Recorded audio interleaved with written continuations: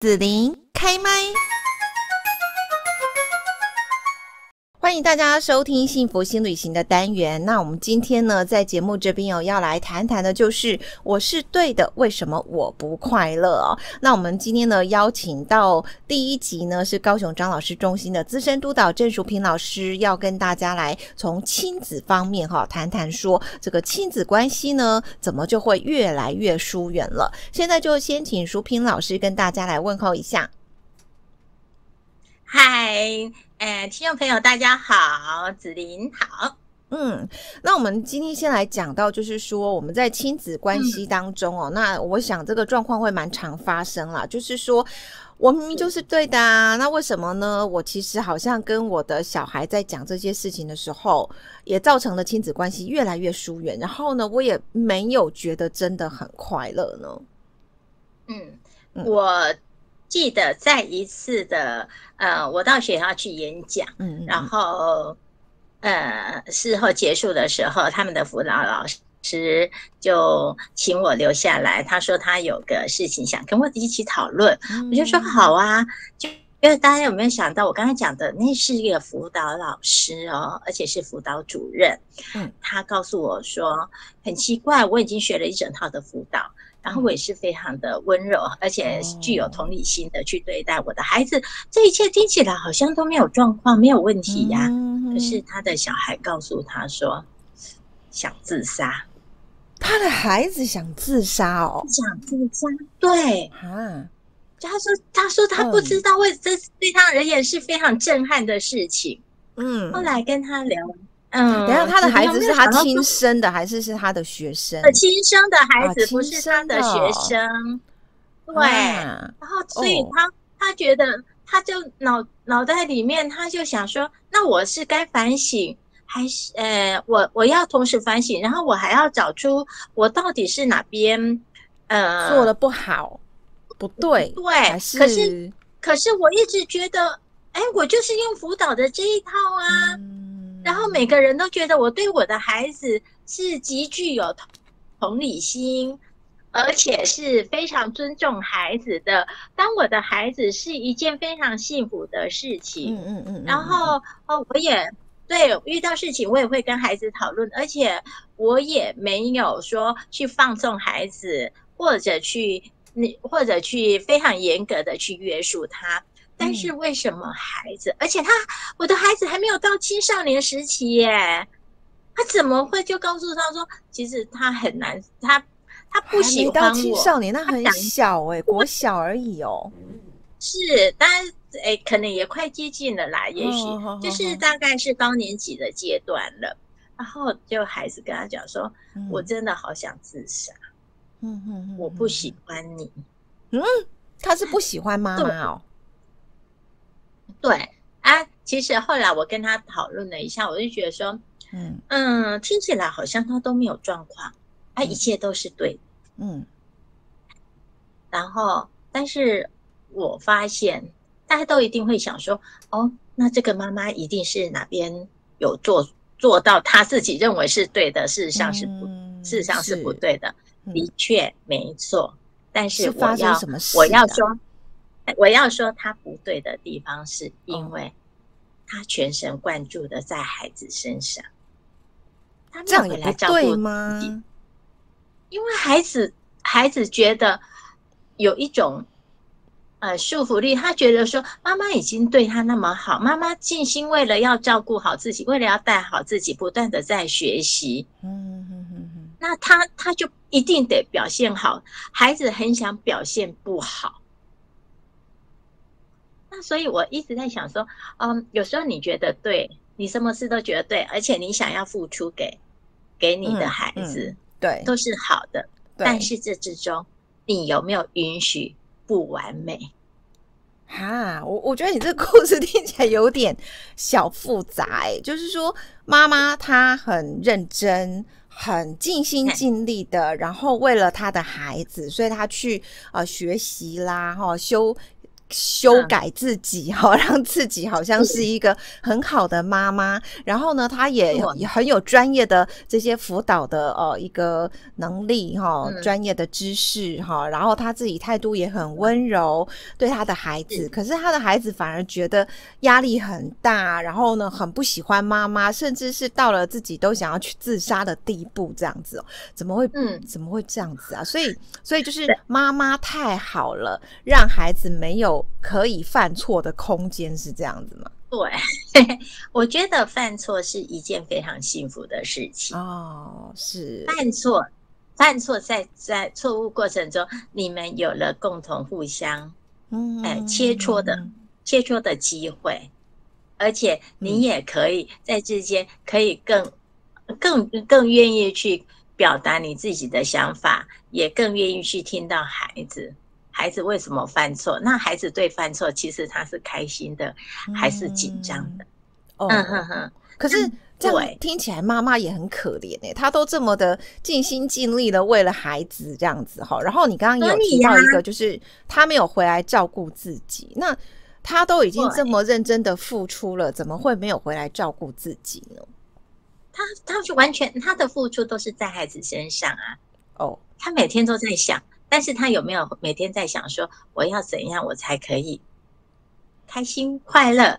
我有没有想到？我们就讲平常生活，有没有想到？其实你今天会想要吃什么东西？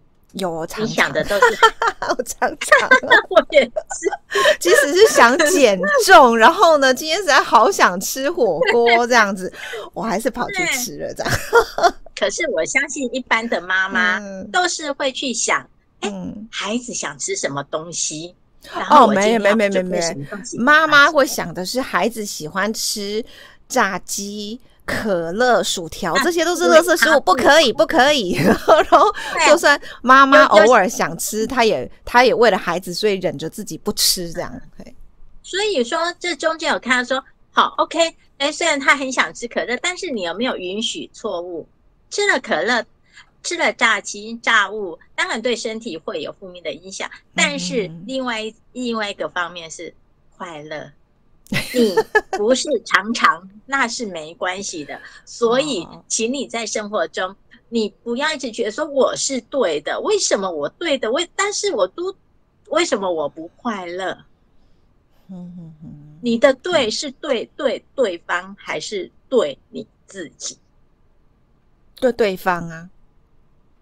对啊，我就是为了孩子的健康，所以我就觉得从小就让他们不要吃那么多垃圾的食物啊，我们要吃那个低卡的、健康有营养的比较好。然后很辛苦的准备煮饭。嗯，你妈这样对你，长期都是这样对你，嗯，你会不会疯掉？那角度不一样啊，妈妈会觉得很好，孩子会觉得你不会不要这么认真的每天煮饭，那么辛苦的。对呀，不同的角色，嗯，对，有不同的感觉。那我都觉得说，其实妈妈的妈妈想的都对，嗯，好。然后那孩子孩子的表达叛逆也是对的。孩子想自杀是他不想活了，因为他觉得的妈妈对他太好了，可是他想要叛逆一下。我记得我我在我在毕业的时候，那时候，嗯，就是。呃，父母亲送了我一台摩托车，然后他会问我什么颜色的，我那时候说我要黑色的，我要非常那个，呃，那个呃做女生黑骑士。可是妈妈就觉得说，你女孩子应该要骑白色的，啊，骑粉红色的。对呀，哦，你想做黑骑士？对，所以，所以，但是，但是很多妈妈说，呃。说我会尊重她，但但有些妈妈就会觉得说，哎，我的妈妈的角度是说，我有时候是晚上晚上工作的，但是晚上我骑黑色的比较不容易被看到，被危险。嗯嗯嗯，对。那妈妈也是和颜悦色的跟我解释。那那像我这个乖小孩，我就说好啊好啊。那妈妈讲的也对啊。可是其实我内在就会加一不快乐什么。哦，快乐，对，嗯哼，然后，那你你大概，也许你的容忍度在在五之内你都可以容忍，甚至好十之内可以容忍，但是你超过了十之后就会爆炸。对，可是妈妈不知道啊，妈妈觉得说哇，我这女儿很乖，嗯，然后这个女儿我也尊重她，我也对她很好，我也帮她分析，我买了摩托车给她，也帮她分析。哦，你看，你看，我在帮他庆祝毕业，然后也帮他他买了呃买了礼物。对，哎，这些都好棒哦！我真的是，我们我常常都会说，哎哎嗯，每个爸爸妈妈都要鼓励自己，每做做每做了一件事情，就要给自己说，哇，我好棒哦，我做了什么事情。然后这个，然后我想，我妈妈应该心里也在想，说我好棒哦，你看我我为女儿做的这些事情。嗯嗯，我。妈妈有没有做错？她没有做错啊。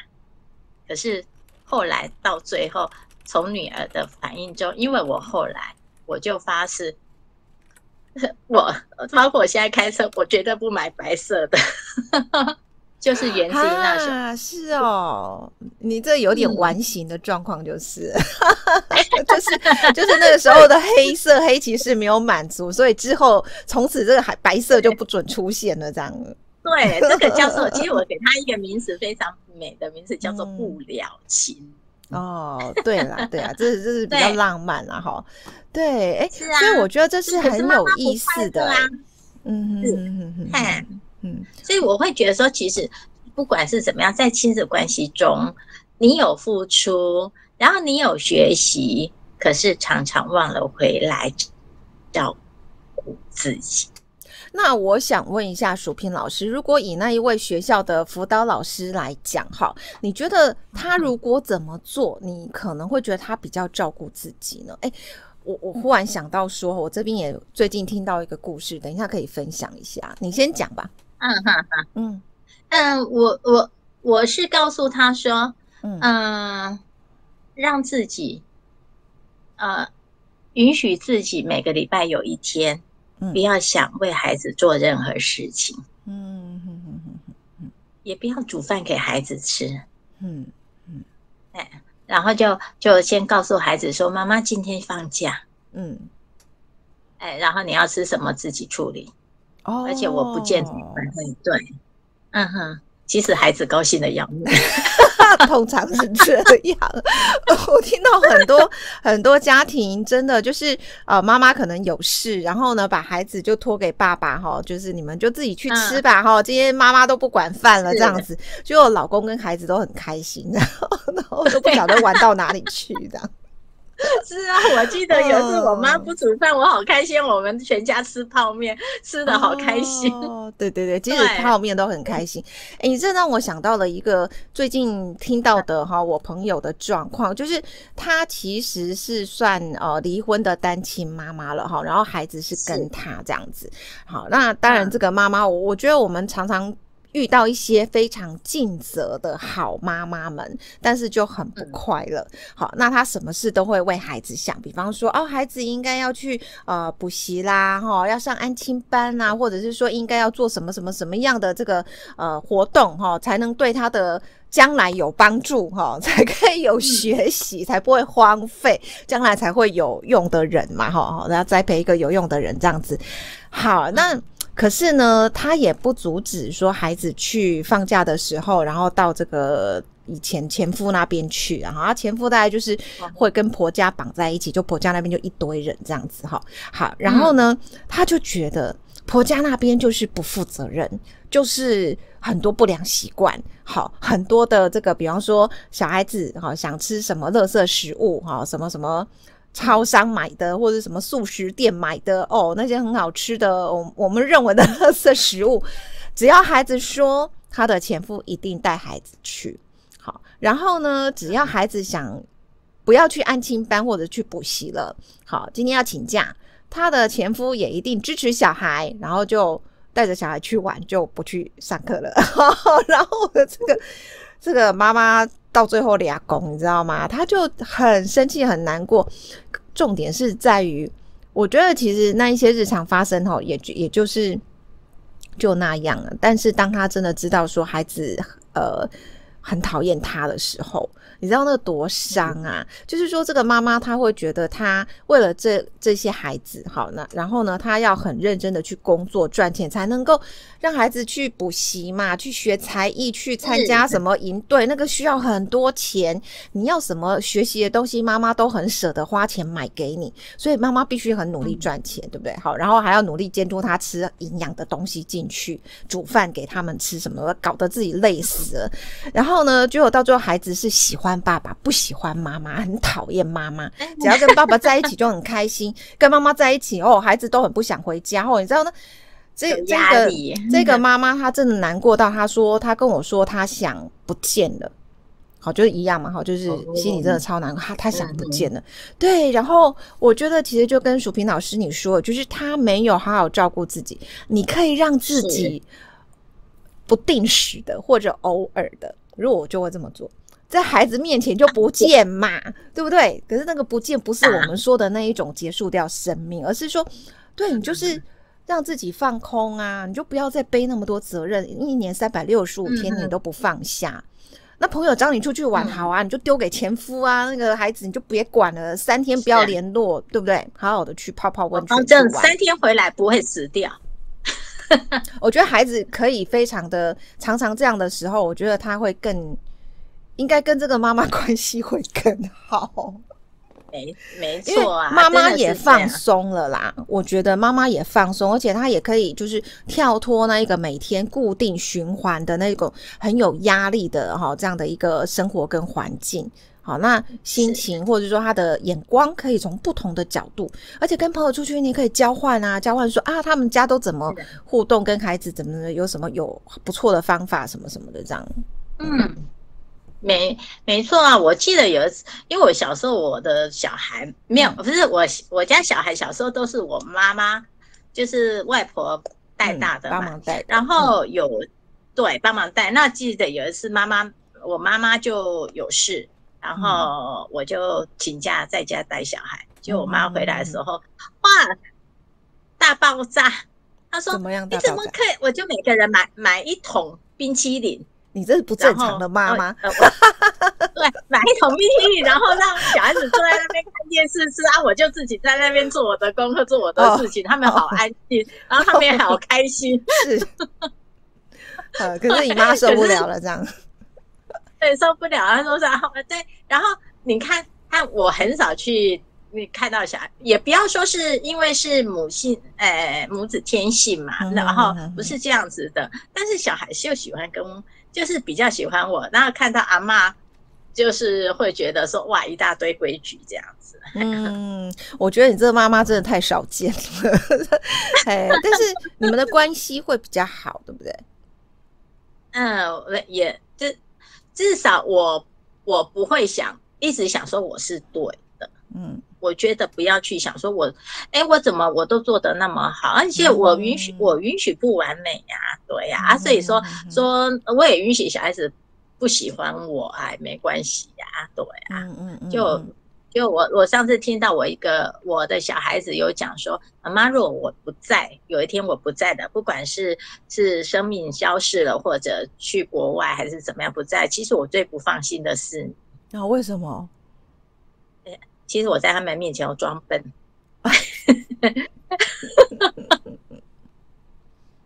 嗯，对啊，就就其实有的时候我觉得，反正就允许他，我你你们亲子之间有不完美嗯，不要不要每个都要求到完美，然后尝试错误，尝试错误其实也无伤大雅。嗯嗯嗯，对，我觉得其实就是在一个安全的状态下啦。哈，其实有很多东西它伤人跟伤自己。嗯嗯嗯嗯。是啊，是啊，好，那我想今天呢，就是邀请到高雄张老师中心的资深督导郑淑平老师哦，来分享我是对的，为什么我不快乐？然后在亲子关系方面呢，哈，可能大家常见有这样子越来越疏远的状况哈。那呃，其实故事我们从故事当中啦，哈，也希望说呃，跟大家分享哦。刚刚淑平老师讲到一个，不要老是让自己维持在一个对的跟。完美的状态，我们就偶尔犯个犯个错啦，或者是说可以这个放松一下啦，放空一下，装傻啦，哈，软烂啦，妈妈可以软烂这样子，好好回来照顾好自己的身心哈。那也许你你们的这个亲子的关系会更好这样子。好，那嗯，就是最后呢，要请淑萍老师也提供一下，我想呃，其实大家难免就是会有在家庭当中哈，或者说哦这些亲子关系当中。会遇到一个不舒服、不愉快哈，或自己很很疑惑、烦恼的一些地方，有没有一些可以求助的管道？当然，在今天的节目中，我们不可能谈到很多嘛，就欢迎大家拿起电话来打一九八零，依旧帮你张老师专线，我们都有非常优质的老师跟你一起讨论哦。好，那今天呢，我们就谢谢高雄张老师中心的资深督导郑淑萍老师的分享了，谢谢，耶，拜拜。